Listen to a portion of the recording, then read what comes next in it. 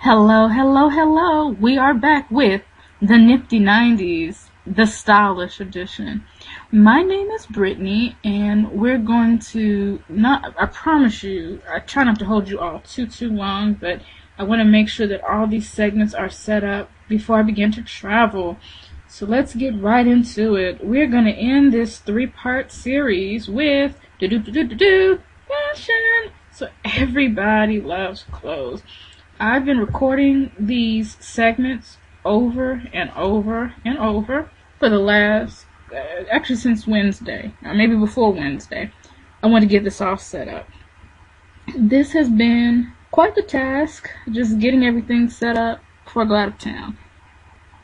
When you're hearing this, I will probably be enjoying the views of New York from the 18th story of my grandma's home in Manhattan. And I'm just gonna have to reshare. I had to pre-record this because I won't be home, and my schedule's quite interesting. And what I'll probably end up doing is, when this is ready to show, this will be posted probably really, really early, probably around breakfast time. Um, before I even get up there, my grandmama is a big breakfast person, so it's a big task when we have breakfast.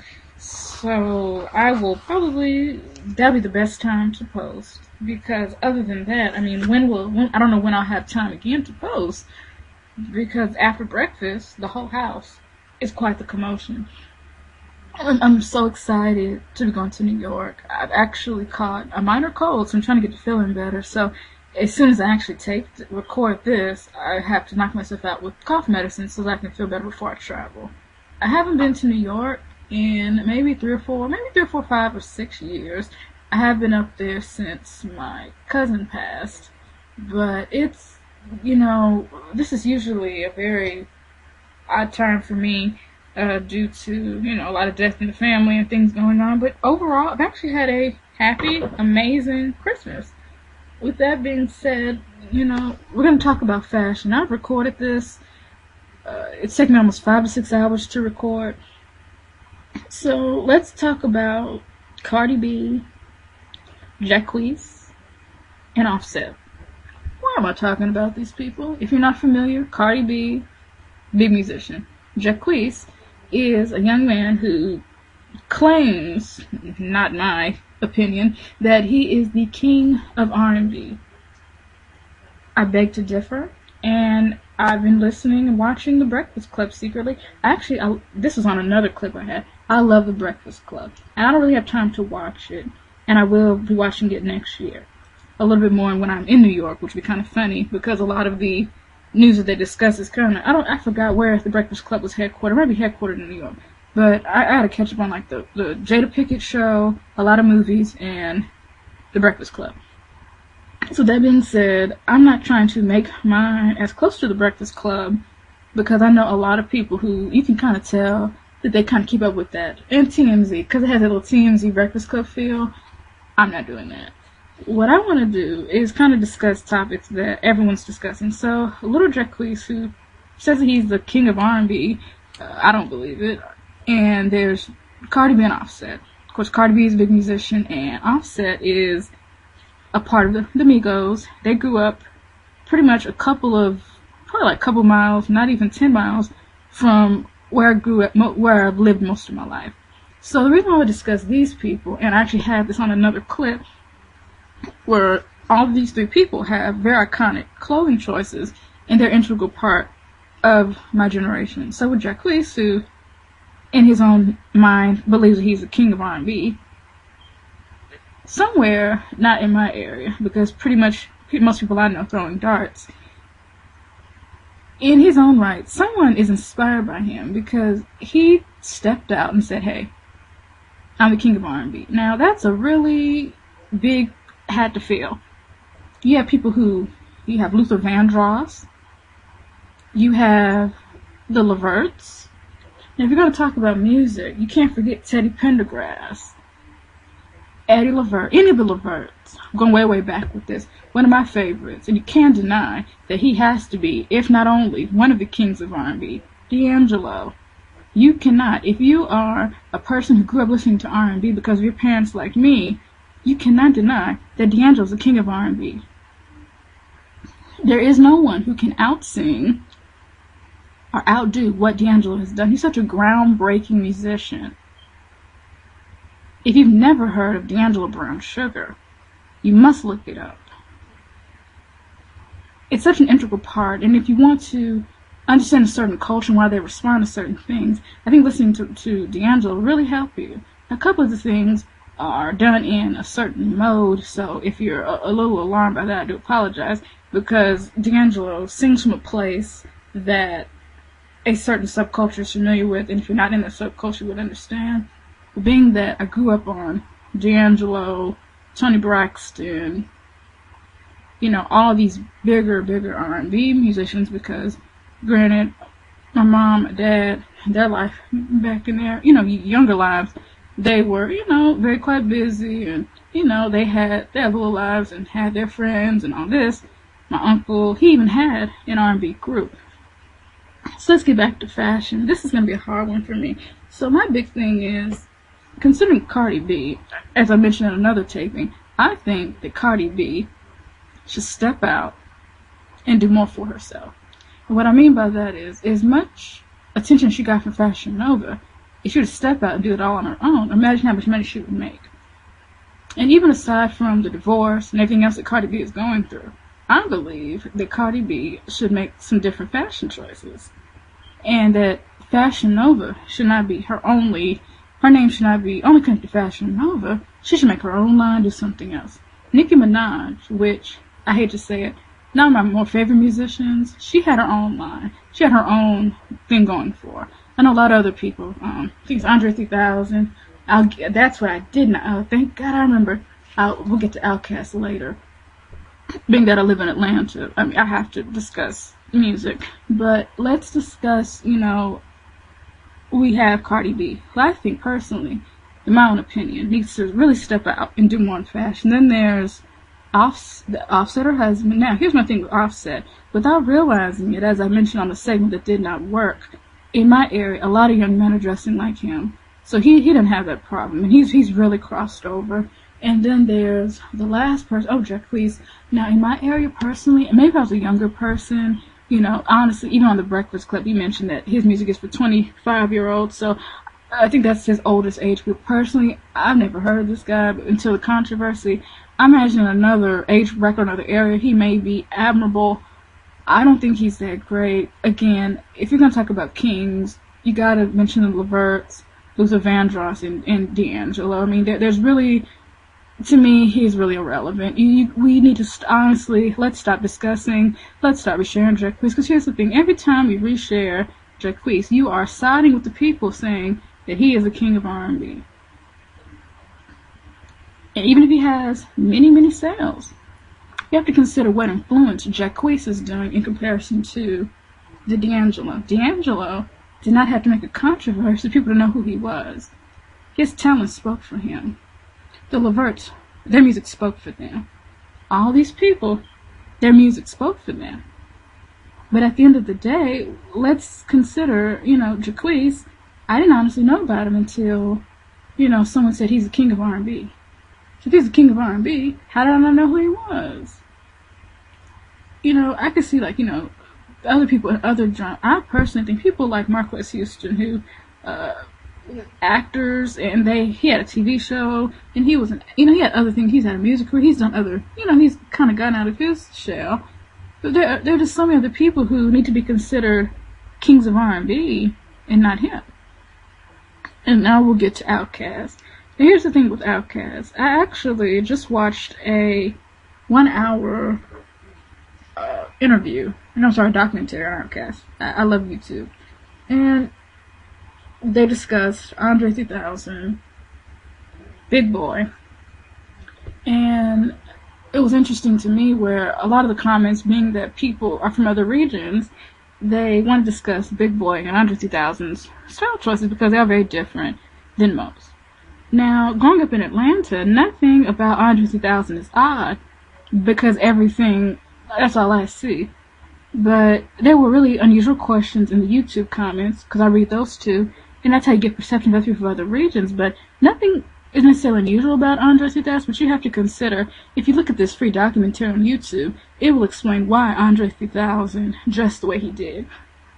What most people don't realize, there are two things that most people don't realize. One thing is, Andre, oh no, the group Outkast really broke a lot of barriers. And just like the documentary said, there are people who listen to Outkast who you never would expect to listen to Outkast. And he as a artist, you know, as a musician, he broke a lot of barriers, culturally wise. That, you know, I read this post about how people use, you know, they have an Outkast po- coaster and they use it, you know, they have an Outkast CD and they use it as a coaster. I know it was a joke, it was funny. But I know a lot of those people from this particular region. And I kid you not, when I was in school, people would sit down when these people would sing all but when Outkast came, everybody would get up. Everybody didn't dance on every song that every artist did at that time. Everybody didn't Nelly like that. But 90%, if an Outkast song comes on, they're going to get up and dance. Outkast is more iconic than most people want to give them credit for. And lastly, well, I was emotionally drained when I read this post. And, and I didn't take offense because another person may not realize it. I don't get on social media and tell and act really odd, but my uncle is a third, before he went on to his heavenly home, he had an opportunity to be the third member of Outkast. So when I read this post, it, I almost boohooed because it was like, you know, some people forget or maybe they didn't realize that my uncle was supposed to be the third member, of one of the most iconic rap groups in the nation, and they were all from my area. And the style, everything about them, as odd as it is, it they showcased Atlanta to a group of people that will never ever live here, never visit Atlanta. They made a mark. So in my fashion, in my choices, everything that I'm doing, I want to make a mark.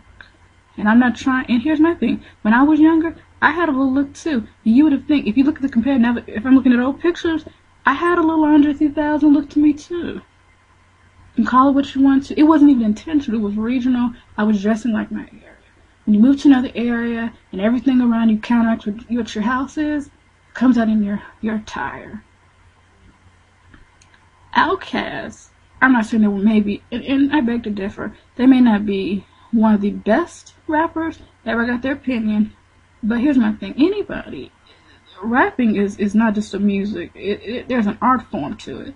And Outkast, they took their gift, their craft, their stories of their lives, and they put it in a mode so that people, they got a song, it's a long word, Southern Playalistic, it's a long, long word, one of my favorite songs. And not because my uncle was supposed to be the third member, was because to me it resonated with me growing up in Atlanta. And it, it, takes me back to a different time when I was a child and my father would take me. These places don't even exist anymore. Also, it's funny to me, a couple days ago, I watched YouTube's on the zones of Atlanta. Years ago, I wouldn't tell anybody. I would go and ride around zones. And I would check, and you know, I wouldn't always go inside, but I go and I literally ride through these zones. Well, I would, you know, ride through the zone. Mother would drive me and we would pass by kind of where my grandma lived. Of course, zones are like you have zones one, two, three, four, five, and six. And if you're from out of town, you know these are, you know, these aren't like bad, bad areas, but these are areas sectioned off from other people, and it's certainly not where I live now. To the point that when my grandma, my grandparents said, "Oh, oh yeah, y'all still live in Gwinnett because the zones in that are not there. Granted, they don't even live there anymore. When you first get to Atlanta, you're still trying to find your way. They have discounted housing over there. And honestly, and everybody has own opinion, I honestly feel safer in the zone than I do in some of these areas in the suburbs. And now, you know, they all have spread out, you know. I think she may live in Gwinnett County. But, you know, when you consider zones and they resonate with those of us who know what a zone is. So if you don't know what a zone is, you don't know what an impact that Outkast made. So if you have a confu- any confusion about Outkast or the music that they put out, and you've never been to a zone, and, and when I say a zone, there are other zones, not just Zone 6. So when I was younger, my father would ride me around these zones. Now, one of the bigger zones that my dad would pass me through is no longer a zone because what they did was they built high rises where these places used to be. So, so a lot of the places my father would take me, and I Google, I said, what happened to these places? Because I don't get to go over there. And come to find out, you know, these places were, in the 90s, some of the most dangerous places in the nation. I said, really? And, you know, honestly, I almost, I mean, I don't know how to respond because, you know, when you, when you, when you hear the word dangerous, we all have a picture of what, you know, dangerous is. I didn't even feel that uncomfortable. So I go all these places, all these parts of the country and say, oh, be careful this, be careful that. For instance, that this is really interesting. They have an area in Orlando called Orange Blossom Trail, affectionately known as OBT. I only know that because I almost moved there to join a ministry I was going to previously join. And I'm saying, oh, I, I'm from Atlanta. No idea what Orange Blossom Trail was. And I've had to go use that street occasionally. They got a good one by the pound. I shop there, I've been there for other reasons. And I'm like, what's the big deal? I mean, growing up, my dad, you know, we were all, I was riding through Atlanta with my father in some areas that were, you know, not even close to feeling like this, but they supposedly said some you know, don't do OBT. So we wouldn't. know. We know there was like, you know, give or take a couple differences. What I what I moved there, too different than home, probably not. But it wasn't even that. It didn't even feel like that. And then I'm, I'm going through my memory and my youth, and you know, as spooky as most people think Techwood is, it wasn't even that scary to me. And it's no longer there. And, and that's another interesting thing. A lot of the places that I grew up knowing have been overtaken by beautiful high rises that I love. And it's it's really odd because it, it's interesting. You know, most people can go back and say, hey, when I move out of an area, I can go back and check because you go back, you know, you move to another area, you go back home, hmm, how have things grown, what's changed? But in my case, you know, the places where I used to frequent when I was younger, things have been torn down, things don't exist. So being in Atlanta, there are a lot of mental things that one must intake and go through So going back to Outkast, this is why Outkast is iconic. Because here's my thing, I'm not, I'm not saying that Jay Z or any of these other people that everybody talks about don't do this, but what Outkast did that an artist does, not they're more artists, not rappers. They depicted a part of life that unless you had the opportunity to know who Outkast is, you would not know. these people, these two young, these two men who are much older than I, am not young men, but they're not mature, that mature either. They have good age they have made it to a major music festival called Coachella. Everybody doesn't get to Coachella.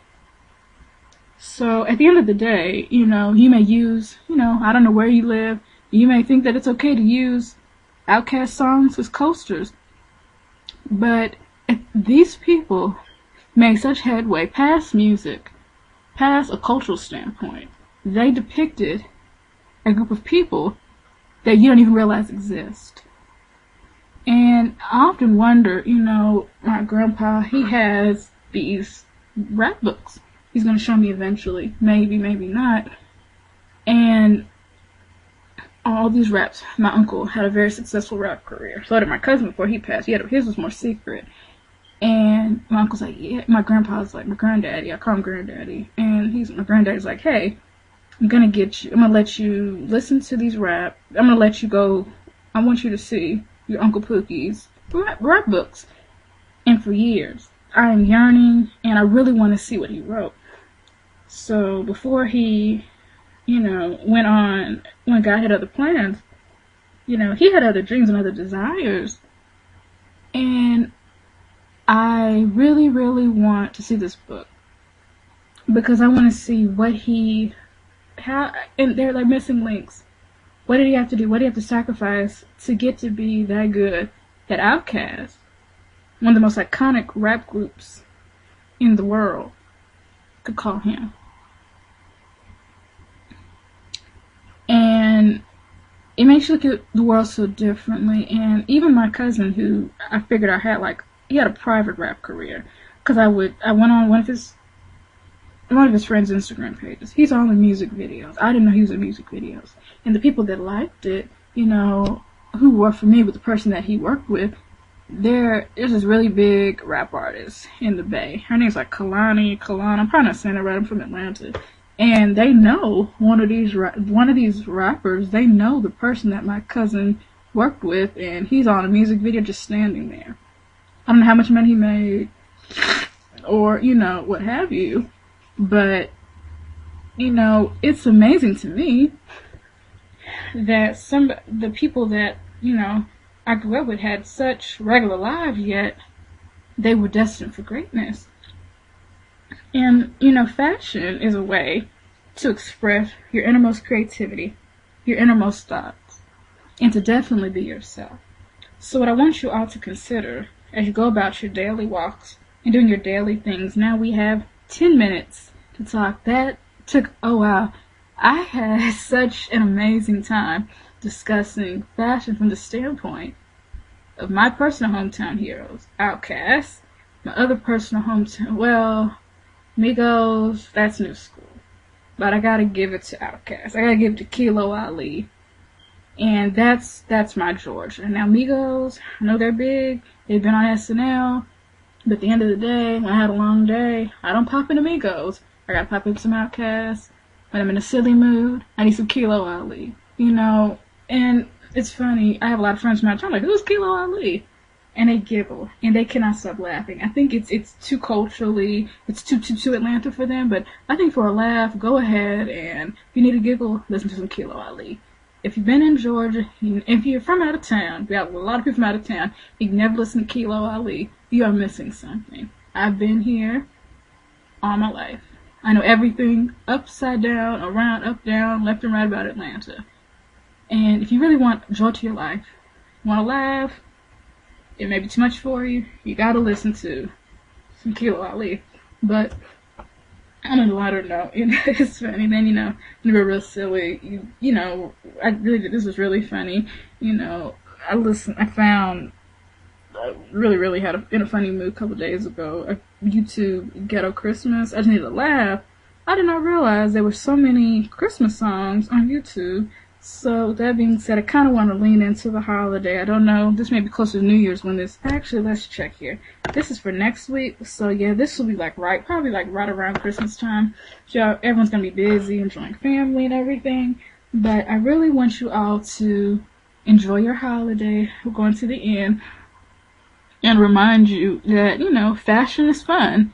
It's not as complicated as people make it to be. And I hope that this segment gave you some light, something lighthearted. Everybody's not going to enjoy their Christmas. Some people are really going to enjoy their Christmas.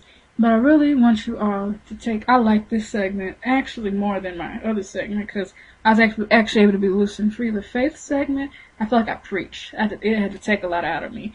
Kind of glad I had 30 minutes. Now with the faith segment, I didn't have as much to say because I, I started getting emotionally involved, involved I should say. But this, I mean, I really feel like I captured y'all's attention.